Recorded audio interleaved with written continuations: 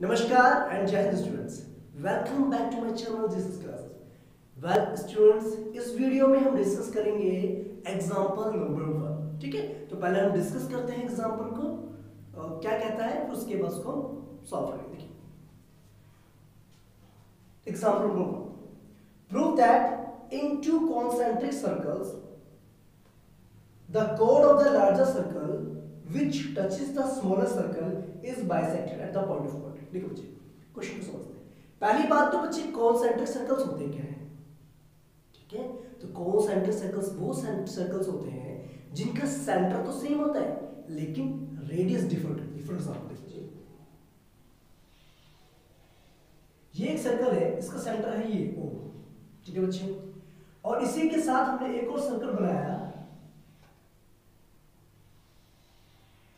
ठीक है उसका सेंटर भी क्या है? ओ है। ठीक है? तो मैंने क्या कहा? इस सर्कल को मैंने सी वन माना, इस सर्कल को मैंने सी टू माना। बात समझ में आ गई? This two circles are concentric circles क्यों? क्योंकि इनका सेंटर क्या है? कॉमन है, लेकिन रेडियस इनकी डिफर कर रही है।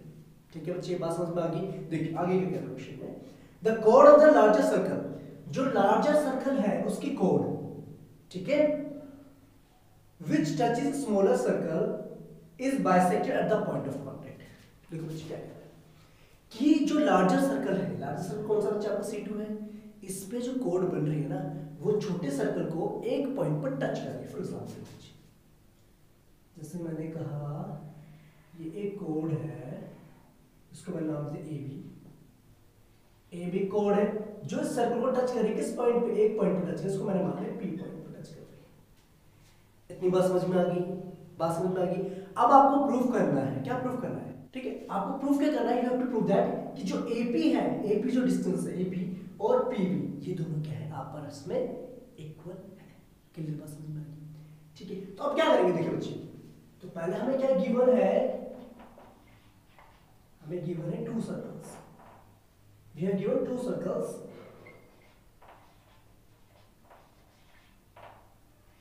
circle C1 and C2 with same center.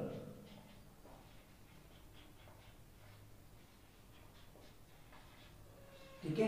यहाँ कह सकते हैं दीज आर कॉन्सेंट्रिक सर्कल्स जिनका सेंटर क्या है? सेम है। क्लियर बात होगी? और हमें क्या गिवन है ए बी इज़ अ कोड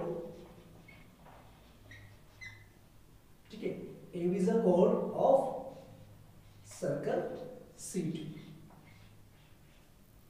ठीक है बच्चे? ठीक है? जो कि क्या कर रहा है? Which touches which touches C one at point P point पे टच रहा है। बात क्लियर होगी। इतनी बात समझ में आ गई। अब आपको प्रूफ क्या करना है। You have to prove that to prove that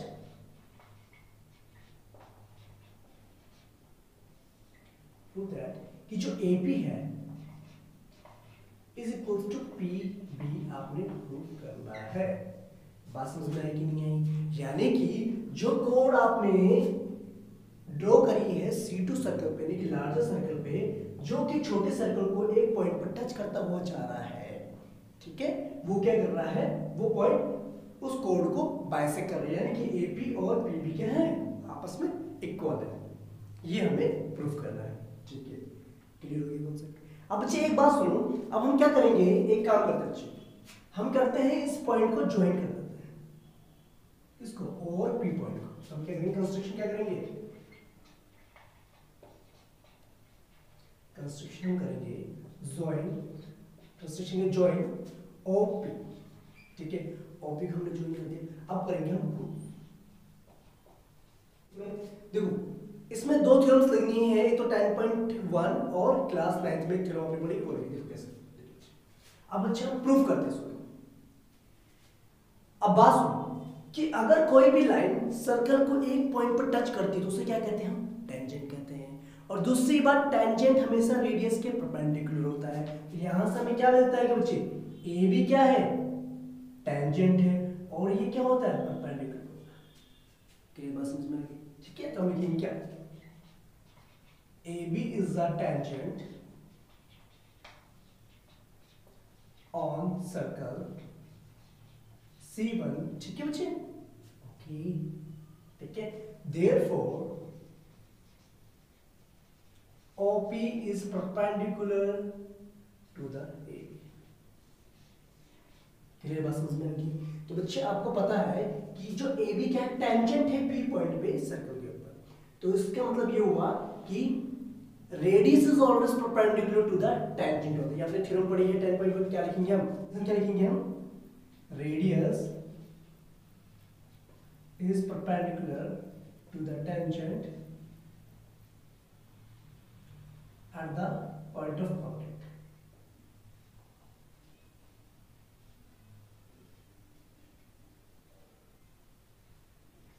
ठीक है बच्चे थ्योरम 10.1 आपने पढ़ी थी? ओके ना बात क्लियर हो गई यहाँ तक? कॉन्सेप्ट क्लियर हो गया. अब बात समझो बच्चे, आपने बोला कि जो ओपी है, वो क्या है इस कोड पे परपेंडिकुलर है पी पॉइंट पे? क्लियर बात है?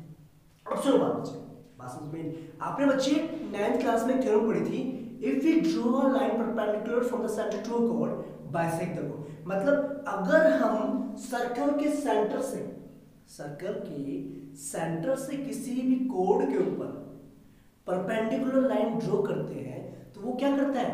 उसको बाइसेक्ट अभी आपने बताया बच्चे ओपी परपेंडिकुलर टू एबी है।